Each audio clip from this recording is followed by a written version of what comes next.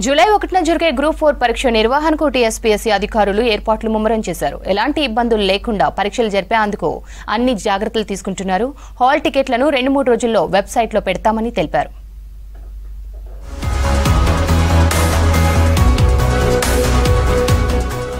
రాష్ట్రంలో ఎనిమిది వేల నూట ఎనభై గ్రూప్ ఫోర్ పోస్టుల భర్తీకి జూలై ఒకటిన టీఎస్పీఎస్సీ రాత పరీక్ష నిర్వహించనుంది.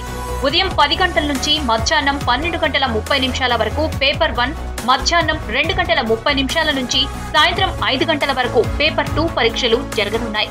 గ్రూప్ ఫోర్ పరీక్షలకు మొత్తం తొమ్మిది లక్షల యాభై ఒక్క వేల మూడు వందల ఇరవై ఒక్క మంది అభ్యర్థులు అప్లై చేశారు. రాష్ట్ర వ్యాప్తంగా రెండు వేల ఎనిమిది వందల నలభై ఆరు పరీక్షా కేంద్రాలను ఏర్పాటు చేస్తున్నట్లు అధికారులు తెలిపారు. గ్రేటర్ హైదరాబాద్లోనే ఎక్కువగా సెంటర్లున్నాయి పరీక్షకు సంబంధించిన హాల్ టికెట్లను రెండు మూడు రోజుల్లో టీఎస్పీఎస్సీ వెబ్సైట్లో పెడతామన్నారు అధికారులు.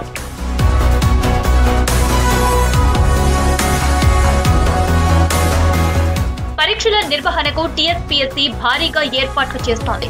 ఇప్పటికే కలెక్టర్లు అడిషనల్ కలెక్టర్లతో సమీక్షలు నిర్వహించారు టీఎస్పీఎస్సీ చైర్మన్ జనార్దన్ రెడ్డి. నలభై వేల మంది ఇన్విజిలేటర్లు పదివేల మంది ఇతర సిబ్బందిని నియమిస్తున్నట్లు చెప్పారు. పరీక్షల్లో అభ్యర్థుల ఐడెంటిఫై కోసం కొత్త విధానం తెస్తున్నామన్నారు టీఎస్పీఎస్సీ అధికారులు.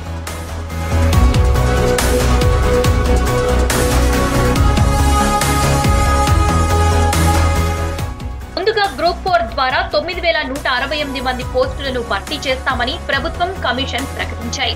నోటిఫికేషన్లో ఎనిమిది వేల ముప్పై తొమ్మిది పోస్టులను భర్తీ చేస్తున్నామని తెలిపారు. చివరికి బీసీ గురుకులాల్లో నూట నలభై ఒక్క పోస్టులు యాడ్ చేయడంతో మొత్తం పోస్టుల సంఖ్య ఎనిమిది వేల నూట ఎనభైకి చేరింది.